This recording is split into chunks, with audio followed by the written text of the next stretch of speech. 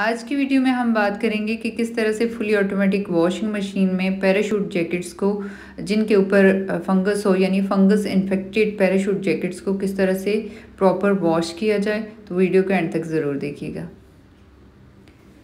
असलकुम welcome back so यहाँ पे मेरे सामने मौजूद हैं कुछ पैराशूट जैकेट्स जिनके ऊपर लग चुका था फंगस यानी कपड़े में पड़े पड़े मानसून की वजह से, चूँकि ये मानसून सीज़न बहुत ही लॉन्ग चल रहा है। तो इनके ऊपर फंगस आ चुका था वाइटिश वाइटिश सामने नज़र आ रहा था।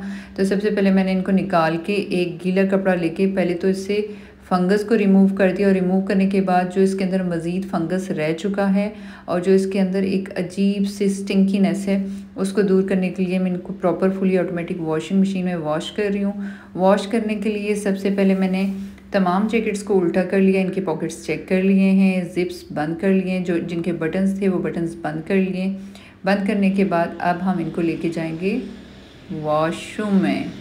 चूँकि हमारा लॉन्ड्री एरिया जो है एक वॉशरूम में बना है तो वहीं पे इसको लेके जाते हैं। यहाँ पे वॉशिंग मशीन में मैंने पहले से पानी फिल कर लिया है। पानी मैंने फिल करने का मैं आपको पहले से तरीका भी बता चुकी हूँ। वो एक और वीडियो में मौजूद है, आप वो देख सकते हैं।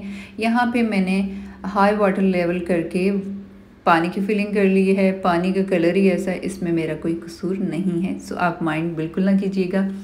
यहाँ पे कुछ क्वांटिटी मैंने सर्व की ऐड कर दी ऑलरेडी और चूँकि ये कम क्वांटिटी में है तो मैं इसमें मज़ीद कुछ लिक्विड डिटर्जेंट भी ऐड करूँगी। बताती चलूँ कि जब भी आप ट्वेल्व के वाली fully automatic washing machine use करें तो उसमें जैकेट्स की क्वांटिटी मैक्सिमम फोर हो सकती है। मिनिमम आप वन भी ले सकते हैं टू भी ले सकते हैं। यानी अगर मैं एवरेज बताऊँ तो two to four medium size gents jackets जो हैं इसमें इजीली आप वॉश कर सकते हैं। सो so, यहाँ पे वन बाय वन हम ये जैकेट इसके अंदर डाल लेते हैं। उसके बाद हम ऐड करेंगे लिक्विड डिटर्जेंट सो इतनी कम क्वांटिटी में जैकेट्स क्यों लेंगे?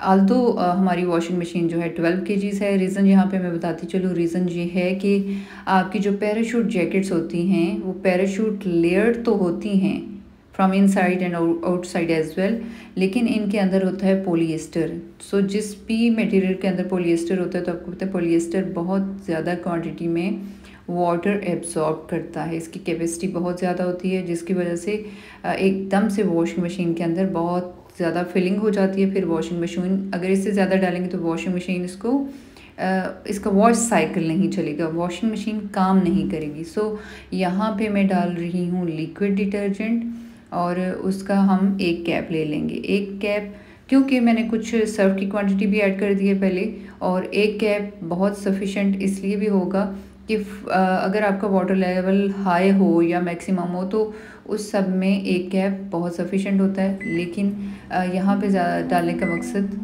कुछ और है जो कि आगे चल के बताती हूँ। यहाँ पे हम सबसे पहले सेलेक्ट करते हैं मोड सो मोड मैंने वूल मोड ही सेलेक्ट किया है। आप चाहें तो इको या हैवी पे भी इसको वॉश कर सकते हैं।